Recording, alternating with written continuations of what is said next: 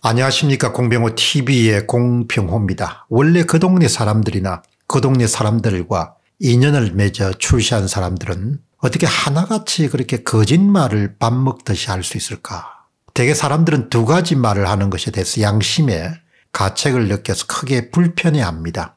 심리학자들은 이런 현상을 두고 흔히 인지 부조화라는 그런 용어를 사용합니다. 그러니까 어떤 사람이 한 가지 현상에 대해 두 가지 의견이나 생각이나 믿음을 동시에 지니고 있을 때 자신이 이미 갖고 있는 의견과 또 새로운 의견을 접하게 되었을 때는 상당한 그런 정신적 스트레스나 불편한 경험을 하게 됩니다. 그렇기 때문에 대부분 사람들은 모순되는 두 가지 주장을 동시에 떠들고 다니지를 못합니다. 또한 불편하기 때문에 또 모순된 그런 의견을 그렇게 내놓고도 주장하기도 힘듭니다.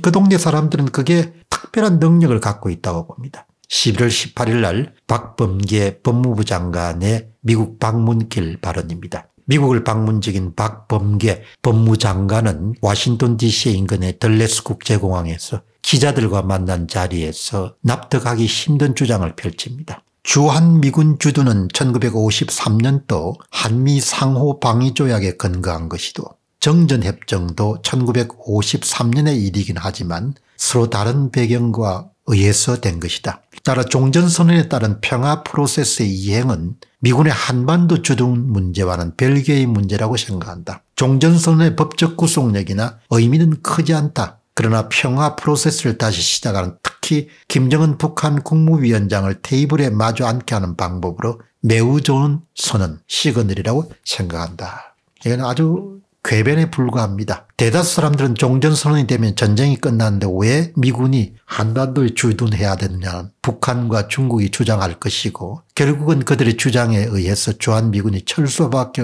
없을 것이다. 이런 점을 대단히 크게 우려합니다. 그러니까 박범계 법무장관의 주장처럼 뭐 그렇게 대단한 일이 아닌 것이 아니라는 것이죠. 이런 우려는 이미 미래 일이 아니라 지금 현실화되고 있습니다. 북한은 최근 들어서 이런 우려에 힘을 다하는 주장을 계속하고 있습니다. 예를 들어서 북한 측은 유엔사를 유지함으로써 한국에 대한 미국의 점령을 정당화하고 있다면서 유엔군 사령부 해체를 연이어 주장하고 있습니다. 종전선언을 추진하는 것은 국민과 국가의 안내 결정타를 먹이는 일임에도 불구하고 그쪽 동네 사람들은 너나 할 것 없이 거의 한 목소리를 외칩니다. 북한을 협상 테이블로 이끌어내는데 종전선언만큼 효과적인 없다. 정말 위험하고 말도 안 되는 주장을 너나 할 것 없이 마치 앵무새처럼 반복합니다. 박범계 장관이 펼치는 종전선언 이유라는 것도 마치 위로부터 발언에 대한 가이드라인이 아래로 하달되기라도 한 것처럼 외무부 장관, 법무부 장관, 청와대 관계자들의 발언이 모두 다 비슷비슷합니다. 또 한 가지 사례를 들어보겠습니다. 11월 17일 날 외교부의 보도자료입니다. 11월 17일 워싱턴 DC에서 열린 제9차 한미일 외교 차관회의회 이후에 외교부가 배포한 결과 보도자료는 이런 문장이 뚜렷이 담겨 있습니다. 최종근 외무차관과 웬디 셔먼 미 국무부 부장관은 한밀 외교 차관 협의회 종료 직후에 각각 현재 진행 중인 종전선언과 관련 협의에 대해서 만족한다는 입장을 밝혔다. 이것이 바로 한국 외교부의 공식 입장입니다. 저는 이렇게 생각합니다. 우리 국민 대다수뿐만 아니라 미 국무부도 종전선언이라는 것이 실제적인 문제가 될 뿐만 아니라 국제법으로도 큰 문제를 갖고 있음을 잘 알고 있습니다. 그런데 외교부가 내놓은 보도자료면에는 마치 양국이 전혀 이견이 없이 종전선언 문제를 추진하고 있는 듯한 그런 인상을 심어주기에 충분합니다. 실제로 국무부 입장은 네드 프라이스 대변인 명의 발표문에는 아예 종전선언이라는 용어 자체가 등장하지 않습니다. 이것은 너무나 외교부가 과장해서 자신의 입장을 두둔하고 있다는 것이죠. 내용이 이런 게 있습니다. 셔먼 부장관은 한반도의 완전한 비핵화를 향한 미국, 일본, 한국의 긴밀한 협의와 조선민주주의 인민공화국의 핵및 탄도미사일 프로그램이 이야기하는 위협에 대응하려는